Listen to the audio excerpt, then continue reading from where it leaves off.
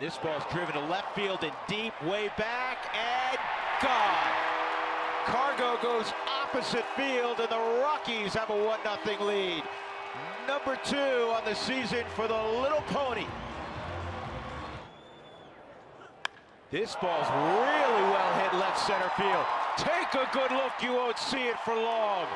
20 rows deep. 2 0 Colorado. Cargo and Nolan go back to back.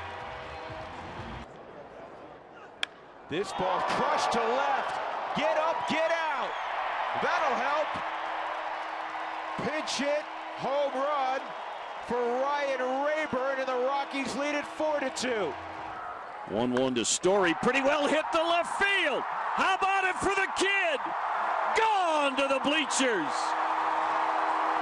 I missed last night, but the home run trot back again.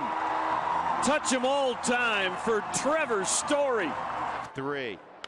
And Cargo hits one into the seats and right. Make it 6-3. Second deck shot. Second home run of the day for Carlos Gonzalez. And the second time today we've had back-to-back home runs. And the second time this year that it's been Story Cargo. Earlier it was Cargo and Nolan.